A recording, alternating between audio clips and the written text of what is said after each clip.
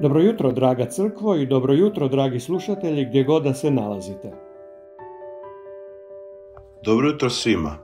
Ovaj ćemo tjedan pogledati u šest života ljudi koji su zbog svoje vjere i pobožnosti izgubili svoje živote. Prvi dan promotrit ćemo jednog od prvih ljudi ikad živjeli na ovoj zemlji, a to je Abel. Čitamo u Mateovom evanđelju 23, 34 do 35. Jedna ćete od njih ubiti i razapeti, druge bićavati po svojim sinagogama i progoniti od grada do grada. Da tako na vas dođe sva pravedna krv prolivena na zemlji, od krvi Abela pravednoga pa do krvi Zaharije. Nadalje čitamo postanak 4, 4 i 5 a prinese i Abel od prvine svoje stoke, sve po izbor pretilinu, Jahve milostivo pogleda na Abela i njegovu žrtvu, a na Kaina i žrtvu njegovu ni pogleda ne svrati. Stoga se Kain veoma razljuti i lice mu se namrgodi. I dalje čitamo osmi stih.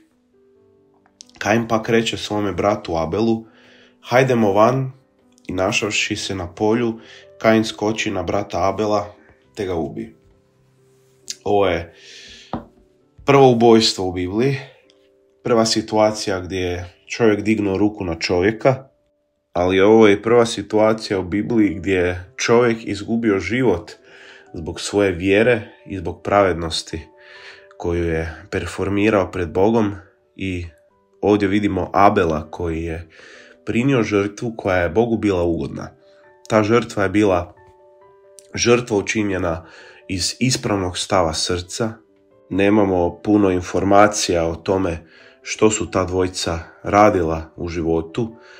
Ono što znamo jest njihova zvanja i sukladno tim zvanjima i čime su se bavili, oni su štovali Boga svojim plodovima. Abelov plod i prinos je bio ugodan Bogu, jer je Abelovo srce bilo privrženo Bogu i ono je za cilj imalo proslavljenje Boga. Njegovo srce je zasigurno shvaćalo svoju poziciju kao stvorenje pred stvoriteljem, ali Kainov prinos nije bio prihvaćen pred Bogom, jer Kainovo srce nije bilo ispravno pred Bogom. Kain, da imao ispravno srce, na Božji ukor i opomenu, odgovorio bih sa kajanjem, odgovorio bi sa žalovanjem, ali Kain se rasrdio i to je rezultiralo ubojstvom.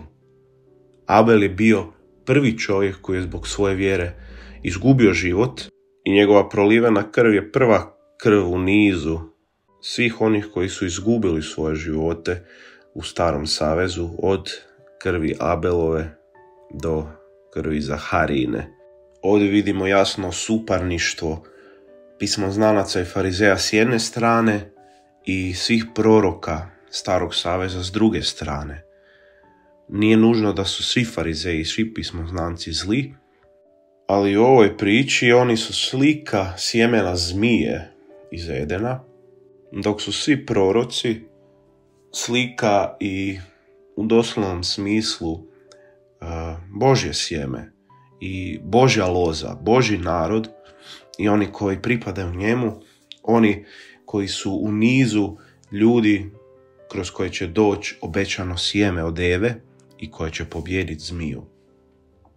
I to je stalno suparništvo i to suparništvo se prenosi od samog početka između zmije i Eve, prenosi se na Kaina i Abela.